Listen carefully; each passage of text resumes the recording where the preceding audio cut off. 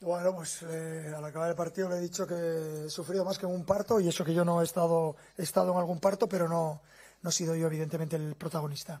O sea, he sufrido mucho por, por el partido, por la necesidad de ganar eh, y de conseguir tres puntos, porque veía que mm, nos costaba en la primera parte generar peligro, en la segunda ha sido diferente, pero fallamos las ocasiones y cuando se acerca el minuto 90 y ves que no eres capaz de sacar tu primer partido, pues he sufrido, evidentemente. Le he felicitado por, no solo por el partido de hoy, sino por lo que representa como entrenador él y el Girona para el fútbol ahora europeo. Y ya veréis, eh, estoy seguro que van a conseguir puntos y que son un equipo muy, muy complicado. Y Marco Asensio